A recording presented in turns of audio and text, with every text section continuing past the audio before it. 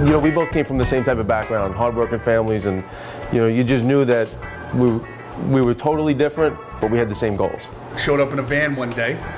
Says, uh, "I'm starting my own business." I said, "With what?" "Ah, I'm going into wholesaling. And then uh, you know that grew, and then about what a year and a half, two years later, maybe. Yeah, Less than a year. Less than two years. Less than two years, we were on the trucks together. And 20, 20 years later, I'm still driving crazy. And he does, yeah. My name is Moe Aquino. I'm co-owner of Barino's Market and Vibano's Trattoria. My name is Michael Barrett. Job title goes, I do anything and everything possible to help keep the business running. Barino's Market is a combination of my name and his name. 20 years ago, there were, uh, the delis, you go to any deli and get a good catering, you know, get, get some good sausage and peppers, and that just wasn't the case anymore.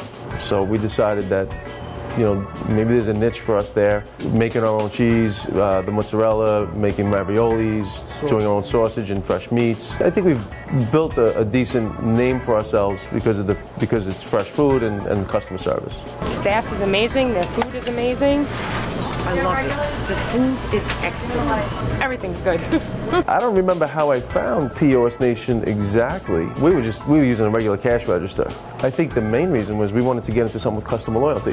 Right? That was one of the main reasons to get something better tracking and customer loyalty. You were accommodating in terms of getting me information, getting back to me with different things because I think because we were in the wholesale business and we worked with computers for so many years, uh, we, we, knew what we wanted. Like we knew what what we needed it to do. And then finally you said, "Well, Chris knows what he's talking about. I think I'm going to go with this company." I was just comfortable. I was just comfortable talking to Chris. You know, we were willing to to move forward. Like everything's already in the system already. You don't got to like think about the price. It's already there for you. Everything was there when we got it. We opened the box and everything was ready to go.